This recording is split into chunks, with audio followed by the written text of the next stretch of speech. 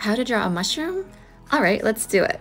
If this is how you normally draw a mushroom, try this instead. Start by creating a curved banana shape. Add these two lines beneath it, leaving a space in the center. And draw the top of the stem like this, and connect the bottom. Draw a little ruffly collar like this, followed by two wider spaced lines.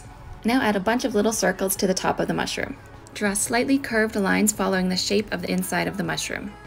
Now add some grass. To finish it off, let's add some shadows. Just use simple lines and fill in some of the darker areas. Add some final little details and you're done. What do you want to learn how to draw next?